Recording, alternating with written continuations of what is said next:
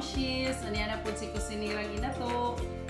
So, karon ang akong ipakita ninyo kung unsaon pag-serve sa fruits. Para kung i-serve nato ang mga prutas, ganahan ang atong mga bata. Kinahanglan na bagid sa mga bata nga makakaon din sila og prutas.